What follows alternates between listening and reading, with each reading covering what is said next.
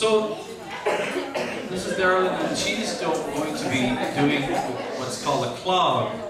And it's, uh, the steps are gonna be a little different than you see with a step dance here. Feet over here. And make some space now. She does the, uh, apparently she does the flying kick over your head if you're sitting body. Now listen to her, she would just shake your foot there. This is, see the, the taps, unlike our taps, or it can be loose like that, they can be I can't do that. There's a number of parts of me that jiggle when I do that. Yeah, mostly your pockets. so this makes it for a different sound, and then there's a lot of different stuff. I, I think you're in, in danger's way. They're telling I would at least back up and get it in the way. I'm very nervous. We have a few more shows before the end of the season. All right, if you feel like.